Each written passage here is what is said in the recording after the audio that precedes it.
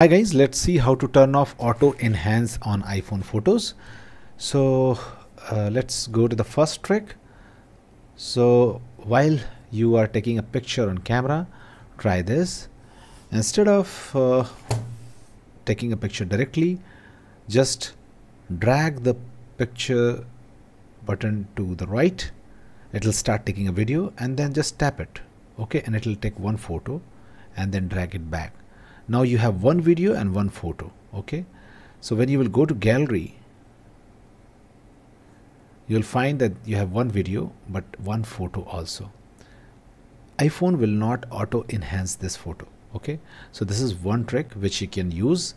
So what you have to do you have to just instead of taking a photo drag it to the right tap on it to take a photo and drag it back. Third is to use a third-party app like Snapchat to take photos so open snapchat and just enable back camera like this and just take a snap okay? And just tap on save and just select memories and camera roll and tap on save okay? And now when it is saved just go to photos and you'll be able to see a photo which is not auto enhanced so this is one trick. The second trick is when you are taking a picture make sure the live photos mode is turned on by checking that live is turned on. Now take a picture okay? Now open that picture and tap on edit.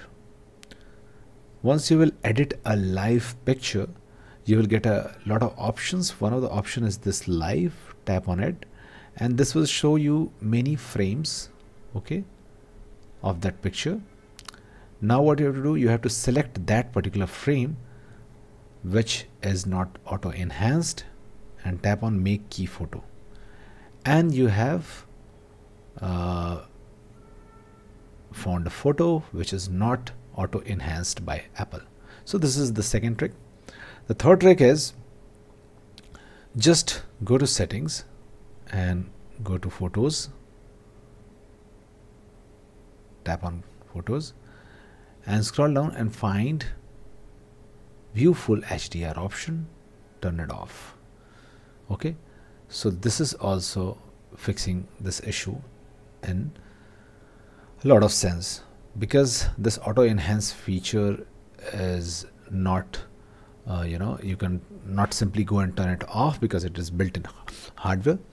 So these are the tricks with which you can you know get non auto enhanced photos in iphone. Thanks for watching. Please do like